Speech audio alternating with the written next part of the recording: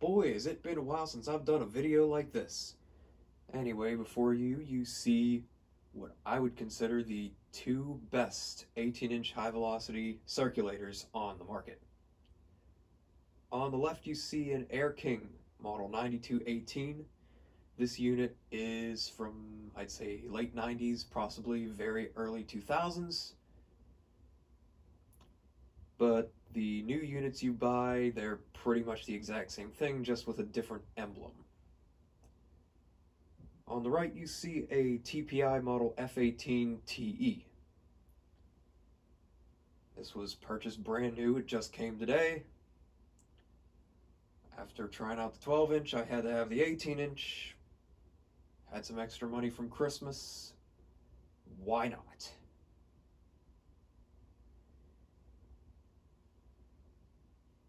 Anyway, let's compare the two. The Air King is manufactured by Lasko Metal Products, West Chester, Pennsylvania. So pretty much everything on the fan is American made except I'm I'm assuming the motor which is made by Supreme. I'm assuming that is China Pride. TPI is all China Pride. Even says made in China right on the label.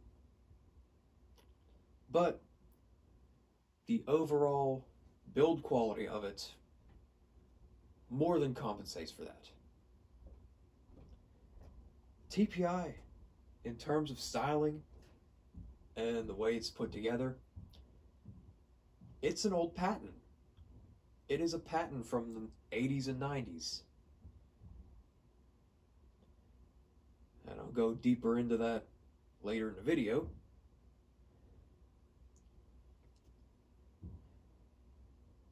But let's get to the meat and bones of things.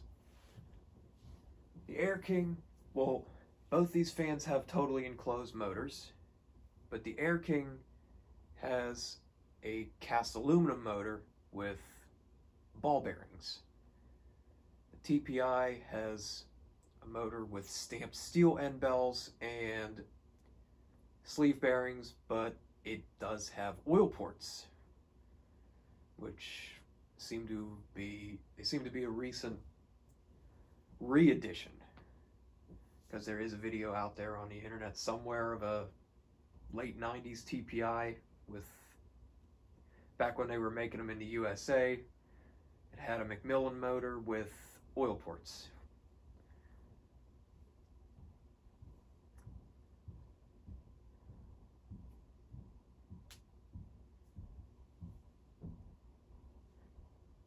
couple other notes.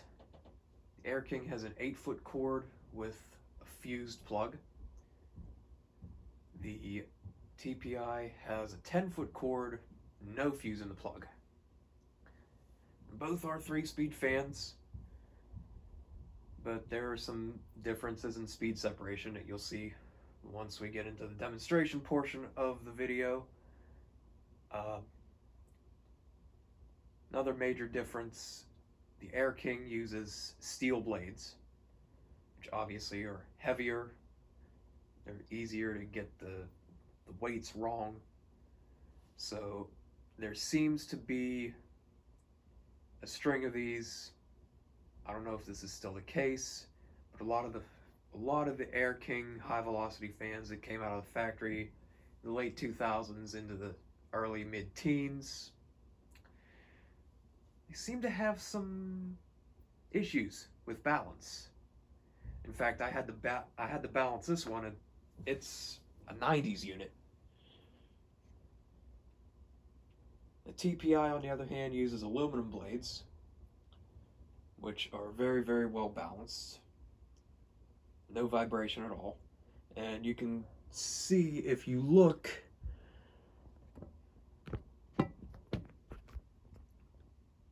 there is a fourth hole in each of the blades on the TPI's blade set.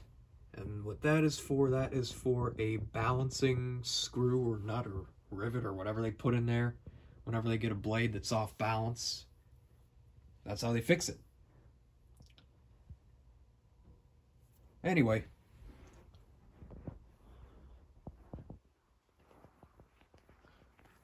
Let's get my camera set back up here.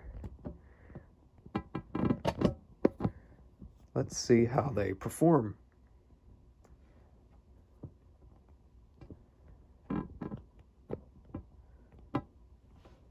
Starting with the Air King on low.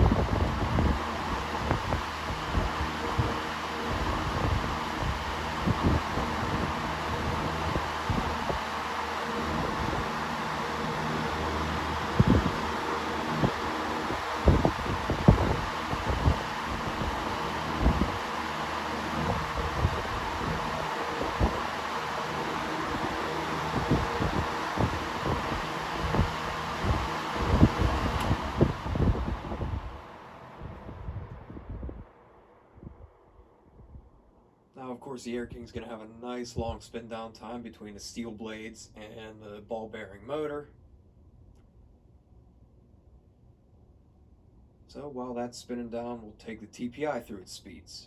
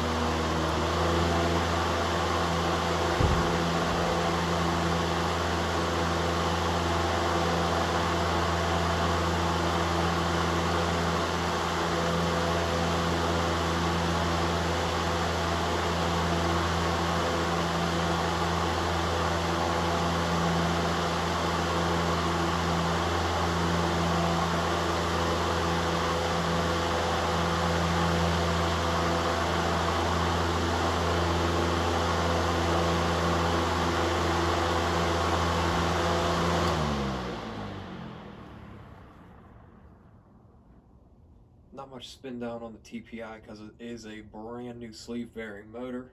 I did go ahead and throw a couple extra drops of oil in each of the bearings after I took it out of the box. But it's still a brand new sleeve bearing motor, needs to break in, yada yada yada.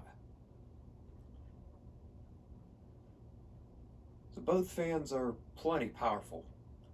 I don't know the exact CFM ratings off the top of my head, but the TPI definitely seems more powerful in terms of wind speed. Um, I will get the CFM ratings and publish them in the description when I whenever I post a video. Um, one more thing I forgot to mention: the Air King does have a slightly more powerful motor in terms of horsepower. It's a one sixth horse as opposed to the TPI's one eighth horse motor.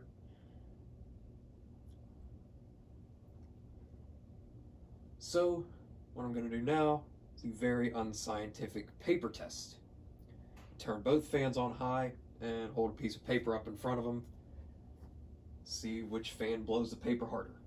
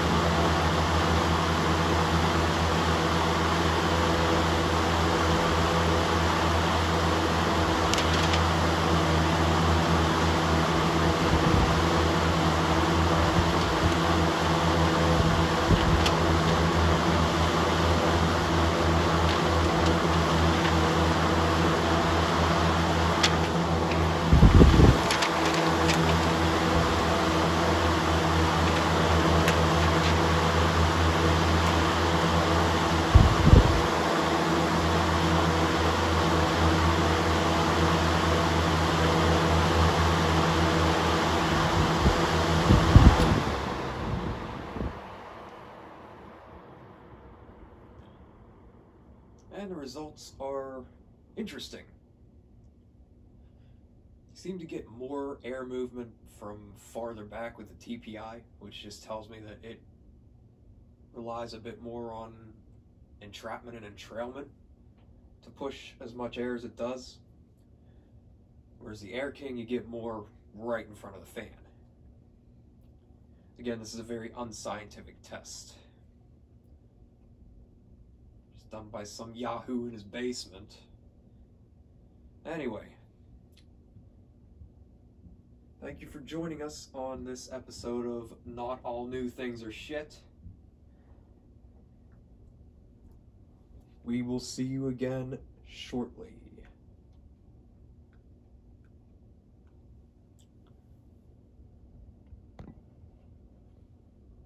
But wait, there's more!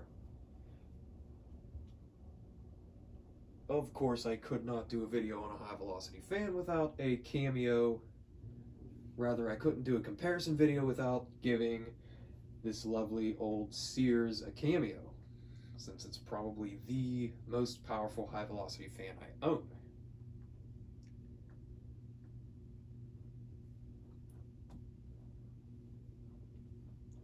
Couple quick notes. The Sears does have a much steeper blade pitch than the Air King or the TPI. Um, it's also a couple inches smaller. I believe this is a 16 inch model.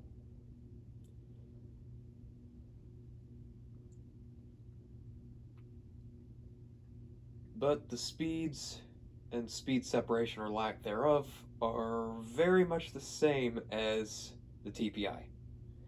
So we'll give it a quick run through its speeds and do the paper test on it as well.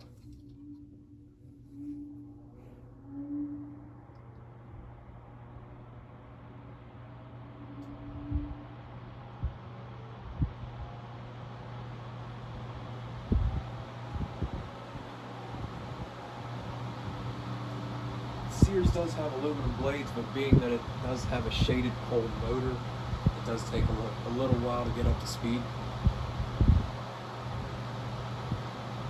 I don't know how much wind is in the camera mic, if you can hear me or not.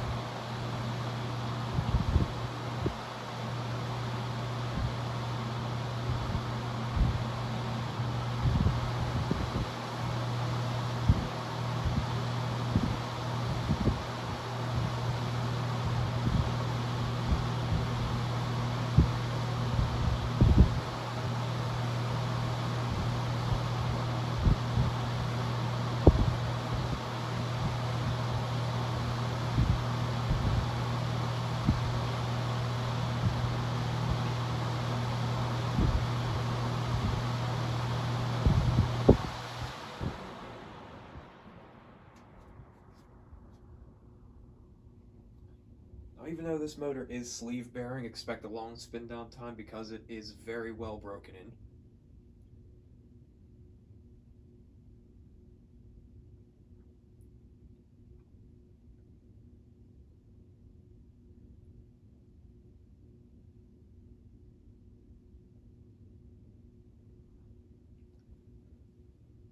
And now it's time for one more paper test.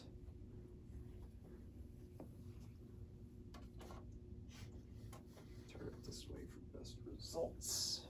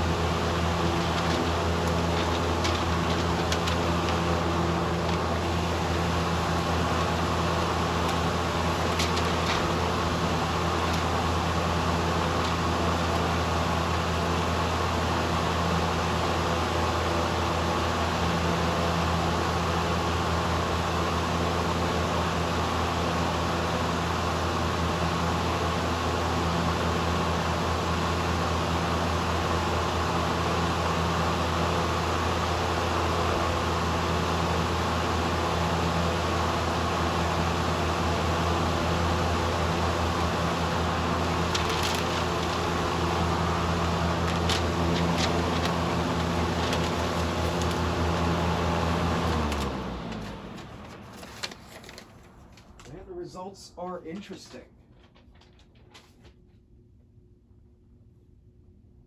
You definitely get more in front of the fan, or directly in front of the fan with the TPI, which I was expecting more directly in front of the fan from the Sears.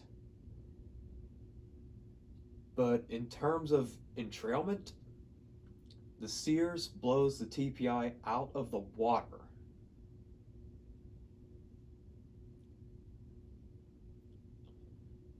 Well, I suppose there's not much more to be said.